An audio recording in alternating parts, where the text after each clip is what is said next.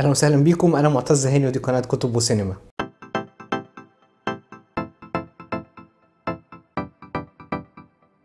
مسلسل Castle Rock الموسم الثاني موسم ممتع جدا موسم مليء بقى بالصراعات النفسية وأجواء الرعب. يمكن اللي شاف الموسم الأول كان ليه أسئلة عن شخصية اللي هي اسمها The Kid والنهاية يعني اتسابت لنظريات مفتوحة وأسئلة كتير. المفروض إن المسلسل أصلا هو يعني anthology وكل موسم ملوش علاقة بالتاني. هو أصلا أبطال جديد جداد تماما وغير أبطال ال season 1 وكمان القصة مختلفة. ولكن في يعني إيه لغز كده بيتكشف من الموسم الأول. يعني عادي يعني أنت لو عايز تشوف الموسم الثاني من غير ما شفت الأول هو ده المفروض إن المسلسل كان قائم عليه ولكن هو في نفس الوقت بيكشف لغز معين في الموسم الأول. فأنت لو ما شفتش الأول وشفت التاني برضه هتفهم القصة المختلفة بالأبطال المختلفين بتاعة سيزون 2 اللي قاموا بالعمل هم الكتاب سام شو وداستن توماسون وهو طبعا في فريق الكتابة وهي أصلا مأخوذة من العوالم المختلفة ومن أجواء ومن كل حاجة أوجدها الكاتب الكبير العملاق في أدب الرعب ستيفن كينج. بيحكي بقى عن يعني تفاصيل كتير في حياة شخصية كنا يعني شفنا فيلم مشهور قوي زمان اسمه Misery والشخصيه اسمها اني ويلكس الممرضة الإنسانة المختل عقليا اللي كانت حبست الكاتب المفضل عندها وقالت له يكتب يعني مش كانش عاجباها نهاية الرواية وقالت له لا هتكتب مش عارف إيه وما تقتلش الشخصية المعينة وكذا وهتعيد الكتابة من الأول. هو أصلا كان اتصاب في العربية بتاعته. واحتجزته عندها في البيت بشكل جنوني. ليزي كابلن هنا بتقوم بواحد من أروع أدوارها وتقريبا أروع أدوارها أصلا يعني هي اللي قايمه بالدور بقى بتاع الممرضة المرة دي وبيبدأ المسلسل بإن هي هربانة مع واحدة بتقول إن هي بنتها وكده وواخداها معاها في مكان ومغيرة الهوية. وأنت عايز تعرف هو إيه السر الست دي هربانة من إيه؟ ومش مخلية بنتها دي تختلط تماما بالعالم الخارجي مش عايزاها تعرف حد. وفي نفس الوقت كمان بتقول لها يعني أنا عشان ممرضة فطبيعة مهنتي إن أنا بتنقل من مكان لمكان فكل شوية هتلاقينا في بلد. ولكن الحقيقة إن هي هربانة من مصيبة كبيرة. العمل ماشي على خطين يعني مهمين جدا شخصيه الشخصية بتاعت ليزي كابلن والعقد اللي عندها والمشكلة النفسية الكبيرة اللي عندها والعلاقة اللي ما بينها وبين اللي هي بتقول عليها بنتها وطبعا هنتكلم بقى بالتفصيل في فقرة برضو الحرق وكده. وكمان خط بقى بتاع الرعب والعوالم المتصلة والغريبة بتاعت ستيفن كينج وشخصيات كتير وحاجات مرتبطة بين كل أعماله بتلاقيها موجودة في العمل ده. هو عموما أعماله بتلاقي دايما حاجات متصلة ومدن هو خالقها زي مثلا Castle Rock و Salem's Lot وكمان Derry اللي كانت في فيلم It. يعني في مدن هو عاملها وسجون وكل حاجة هو بيعملها بنفسه بتكون حاجات تخيلية مش حقيقية. بنشوف كمان تيم روبنز في زيارة للسجن اللي هو كان يعني في, في أحد طبعا الأعمال الشهيرة Shawshank Redemption. هو بيزور السجن ده. هنا بقى يعني حاجات مرتبطة ببعض ولكن ساعات بتبقى ملهاش علاقة ببعض. ففي أكتر من شخصية. زي ما قلنا شخصية الممرضة. موجودة والشخصية كمان اللي كانت شخصية Ace اللي هي كانت المتنمر في فيلم Stand by Me برضو بتاع ستيفن كينج فحاجات كتير مرتبطة ما بين أعماله موجودة هنا. أني ويلكس بقى بت يعني بتتعاطى أدوية معينة عشان عندها حالة هي بتخلط الأدوية على بعض وبتحاول تهدي نفسها لأنها بتقوم بأعمال جنونية وحتى بنتها في لحظات كتير بتخاف منها والعلاقة ما بينها وبين بنتها هنا في المسلسل هي أروع شيء. يمكن أروع من فكرة الرعب نفسه اللي موجودة وفكرة اللي هي يعني الحاجة القديمة اللي هنحكيها دلوقتي في فقرة الحرق والإحياء بتاع الموتى والكلام ده كله هنتكلم فيه. ولكن العقد النفسية اللي, اللي هي عندها نفسها الممرضة يمكن مرعبة أكتر من الرعب نفسه بول سباركس كمان في دور اسم ميلر كان قايم بدور ممتاز جدا ففي أكتر من ممثل وممثلة ولكن على رأسهم ليزي كابلان هي رقم واحد في التمثيل في الموسم الثاني طبعا القصة وارتباط كل حاجة ببعضها بقى والتفسيرات والرموز وكل الكلام العملاق اللي كان في العمل ده كان ممتع جدا. فالكتابة كانت على أعلى مستوى يعني يترأس فريق الكتابة ستيفن كينج ومعاه طبعا ال creators بتوع العمل. فحاجة حاجة عملاقة يعني يمكن بالنسبة لي هو ينافس الموسم الأول بقوة. طبعا هو زي ما قلنا هو بيكمل في بعض الأحداث في بيكشف سر في الموسم الأول ولكن زي ما قلنا مش شرط تشوف الموسم الأول عادي ممكن تشوف التاني إنه بيحكي عن قصة ملهاش علاقة يعني. طبعا التصوير برضو كان زي ما شفنا كان انبهار بالتصوير في ال- المدينة التخيلية بقى كاسل روك وبنشوف كمان آه، يافطة أصلا في وسط احتفالات كده بتلاقي مكتوب ديري. كل العوالم بتاعت ستيفن كينج مختلطة في ال- العمل ده. حتى ال- اللي هنتكلم عن اللي كان في المقدمة نفسه. في المقدمة في كتاب كده بيقعد يتفتح ومكتوب فيه كلمات معينة. عايزين بقى نتكلم براحتنا. فدايما الحاجات اللي بتبقى بدون حرق دي بتبقى مش عارفين نتكلم عن حتى الرموز اللي في العمل فيكون الجزء الجاي الفقرة الجاية دي فيها حرق آه، كامل للتفاصيل. شخصية إني ويلكس شخصية معقدة جدا ممرضة مريضة البنت اللي معاها دي ولا بنتها ولا حاجة ده هي أصلا كانت واخداها من حلقة بقى كان في حلقة شرحوا فيها الموضوع عن إيه قصة البنت دي وإزاي إن هي آه، بتدور أصلا على يعني آه، مين أم الام الحقيقية مين. كانت حاجة اسمها The Laughing Place كانت حلقة رهيبة جدا واخدة تقييم عالي جدا. وهي أصلا البنت مش بنتها. يعني هي واخداها معاها في كل مكان وبتاع من صغرها وهي طفلة. وبيبدا العمل أصلا وهي معاها صندوق كده وكانت هتدفن البنت دي أو هترميها في المية ولكن صعبت عليها وابتسمت ومش عارف إيه وخدتها تاني وقالت خلاص هترعاها زي بنتها. فكرة إن الممرضة دي قتلت آه، آه، أبوها لأنها كانت شايفة إن أبوها يعني متسبب في إن أمها انتحرت. كان بيخونها أصلا مع واحدة كانت بتعلم بتعلمها اللغة وكده وإزاي بقى تقعد تقرأ والكلام ده. فحست إن أبوها آه، يعني مذنب في أو سبب في انتحار أمها وفي نفس الوقت كمان إن أبوها كتب إهداء الكتاب. كان هو بيع... كان بيحاول يكتب رواية. في الآخر يجي يكتب الإهداء لواحدة بيحبها ما يكتبهاش لبن... لبنته اللي هي كانت بتساعده. فحست إن أبوها يعني خانها. كمان الإهداء مش كاتبه ليا فراحت زقاه من على السلم. فجت بقى ال- الست التانية اللي هي بقى زوجته الجديدة ما أمها خلاص انتحرت. جت بقى الزوجة ومش عارف إيه اللي أنت عملتيه ده وبتاع راحت ضربها بالسكينة كمان.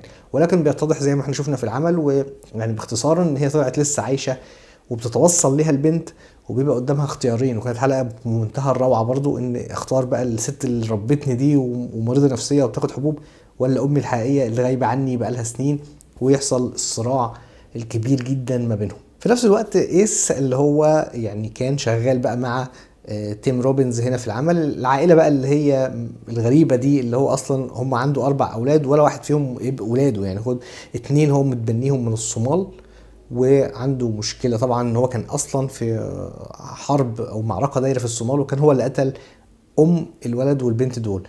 فزي ما تقول يعني كانوا صعبوا عليه وخدهم يرعاهم وخلاص تبناهم والكلام ده والتانيين دول مش أولاده برضو مباشرة فأربعة ولكن ما مش إخوات ولا حاجة. وبيديروا بقى أعمال يعني في كاس الروك أعمال غير غير مشروعة كده وحاجات من تحت الترابيزة والكلام ده كله فبيحصل صراع ما بين إيس والممرضة بقى هنا. وطبعا هو ما يعرفش إن أنت بتكلم مجنونة يعني فكان يعني راح بقى يكلمها وبتاع ودار بينهم حوار ولكن بينتهي بالقتل. وبتجره بقى وقالت أنا هدفنه فين؟ في سيلمز لوت وبتدفنه كده فبيخش في مكان آه، معين. وطبعا كان ده بقى لغز الموضوع كله إن في قبور موجودة وتمثال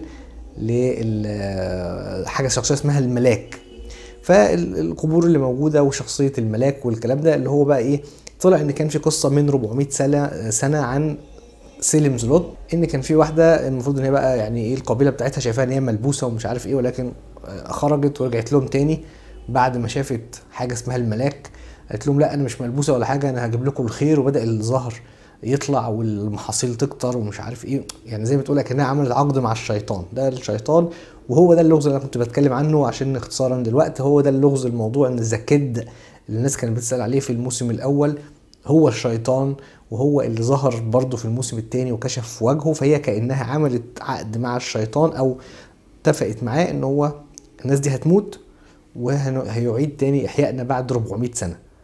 فده كانت البداية بشخصية إيس اللي هي اتقتلت واتدفنت وقامت كده كانت بقى بتقوم تاني أو بعد ما يموتوا بفترة وعليهم حاجات لزجة كده زي ما يكون آه، يعني حاجة بتلزق كده. بيقوموا بقى تاني وعايزين يحيوا الشخصية المهمة اللي هي أميتي. وبيبدأ المدينة كلها كأنها منومة مغناطيسيا بقى كلهم بيتحولوا كده ويبصوا للتمثال. في تمثال كبير ده بتاع ال- ال- الشيطان هو برضو زكيد ده ظهر حتى في الموسم الثاني يعني آه، فهو ده الجزء المرعب في الموضوع. وفي نفس الوقت الجزء السايكولوجيكال بقى اللي هو بتاع الممرضة.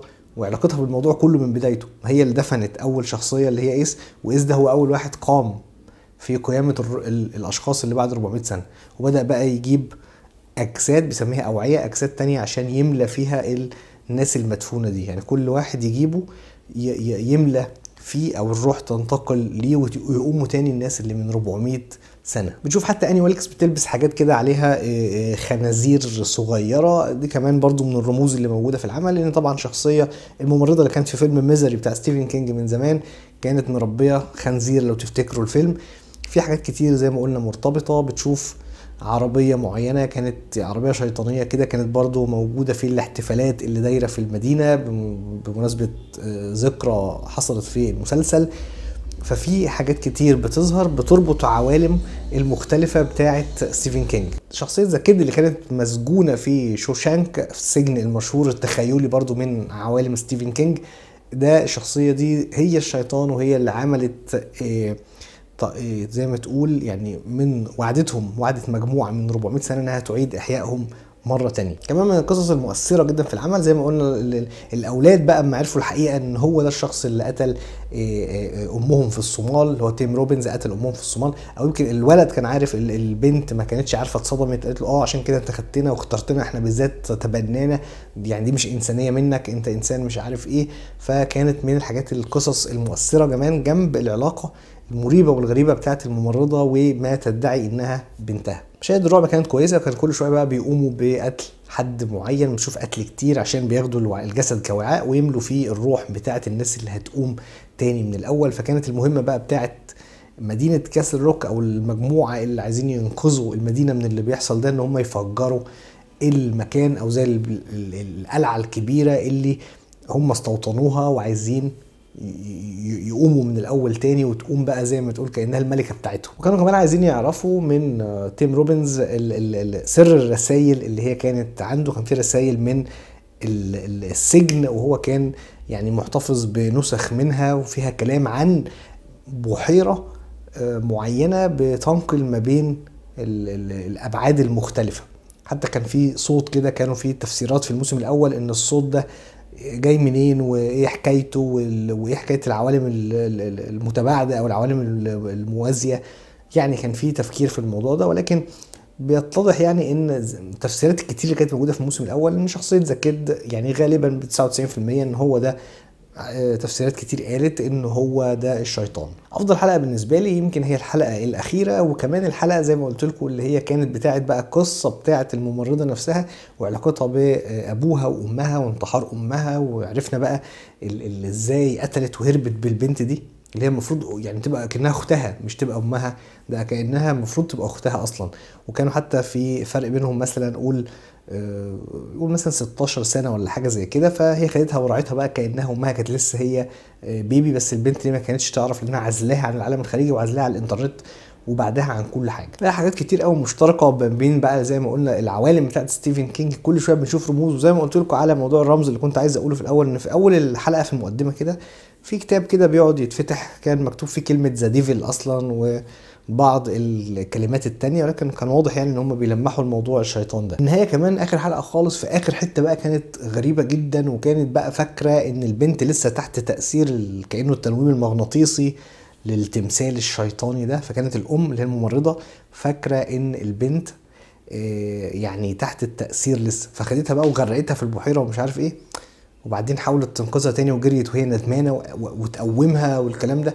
وبعدين يروحوا بقى لحفل توقيع. بيوضح بيوضح لك بقى موضوع كتاب Misery ده أو الفيلم اللي إحنا اتكلمنا عنه فيلم Misery وراحوا حفل التوقيع وقالت ده أصلا ده الكاتب المفضل ومش عارف إيه بيفكرها دايما بالكتاب اللي كانت بتقراه لبنتها. بتلاحظ حاجة غريبة في النهاية إنها بتسيب كتاب آه، جنبها. حد بي بيجي لها في الأول بي يعني المفروض إن البنت ماتت أصلا يعني غرقت في البحيرة. ولكن في مشهد إن هي قومتها. في النهاية خالص بتكتشف في مفاجأة إن هي شكلها ما قومتهاش ولا حاجة شكل البنت ماتت فعلا وهي بدأت بقى الهلاوس ترجع لها تاني وحكاية الأدوية والعقاقير والكلام ده كله. آه، يعني هي واحد حتى جه كلمها قال لها المكان اللي جنبك ده فاضي؟ قالت له لأ مع إنه فاضي. آه، وعليه كتاب يعني البنت مش جنبها ولا. شكلها كانت بتتخيل إن هي خدت البنت معاها لحفل التوقيع كاتبها المفضل اللي هي كانت حبساه في الفيلم اللي إحنا بنقول عليه الفيلم القديم بتاع ستيفن كينج راحت حفلة التوقيع والبنت آه، جنبها كرسي في الآخر كان آخر مشهد كده كرسي فاضي. فدي بقى ممكن تكون يعني برضو متروكة دايما يحيرونا في نهاية ال- المواسم في المسلسل ده. فيمكن تكون ال- البنت بالفعل خلاص ماتت وكل دي بقى تخيلات إن هي قومتها تاني وخدتها معاها. فرغم إن هو مسلسل هو هو رعب هو psychological horror يعني. هو ولكن الجانب المرعب فيه مش هو نقطة القوة مش فكرة إن ال- ال- ال- الملاك أو اللي هو الشيطان ده اللي بتقول عليه الملاك وإن هو قومهم تاني وإعادة إحياء. الكلام ده شفناه في أفلام رعب كتير. وموضوع الخنفسة اللي إحنا كنا بنشوفها دي رموز آه، معينة كانت في ديانات قديمة إن هي دي رمز إعادة البعث. فالخنفسة دي كانت رمز في ال- ال- الأديان القديمة. حتى عند قدماء المصريين ليها آه، رمز مهم موضوع الخنفسة اللي هي كان في آه، سالم زلوت القديمة. الاميتي دي كانت تذبح كل واحد وتحط في بقه خنفسة. فخلاص يموت ولسه بقى هنبقى نقومهم بعد آه، 400 سنة. فإيه فكرة الخنفسة دي اللي كانت بتتطاير من التمثال بتاع الشيطان؟ هي الخنفسة دي كانت رمز لإعادة البعث. فالفكرة دي آه خلاص يعني إحنا شفناها في أفلام رعب كتير. موضوع إن هو في ناس معينة هنجيب الجسد البشري كوعاء و... ونصب فيه الروح مرة أخرى ون... وناس تيجي من عصر تاني أو زمن تاني ممكن تكون موجودة. لكن الفكرة ال- العلاقة أو قصة الممرضة نفسها والقتل اللي هي كانت بتعمله والعلاقة ما بينها وبين بنتها وربطها في السرير بنتها كانت خايفة منها وربطها في السرير ومش عايزاها وتقول لها تاخدي الأدوية بتاعتك ومش عارف إيه مرعوبة منها. دي المشاهد العظيمة قصتها مع أبوها وأمها اللي انتحرت وكمية عقد نفسية عندها غير طبيعية. كانت الممثلة اللي, اللي, اللي طبعا اللي كانت قايمة بالدور ده دور الممرضة وإنها احتجزت كاتب مهم وخلته يكتب عندها بالعافية برضه كانت ممرضه جدا وخدت عليها جايزة زمان وخدت جوائز كتير عليها في الفيلم. دي كانت دردشه كده عن الموسم الثاني من المسلسل ويعني اللي ما شافش الموسم الأول عادي ممكن تشوف الثاني هي بس كشفت زي ما قلنا لغز للي شافوا الموسم الأول اكتشفوا حل اللغز. ولكن لو شفت التاني على طول دايركت مفيش مشكلة. ودي كانت حلقتنا النهارده عن الموسم الثاني يا رب تكون الحلقة عجبتكم والمسلسل كان ممتع جدا طبعا. وأشوفكم على خير إن شاء الله في الحلقة القادمة ومع السلامة.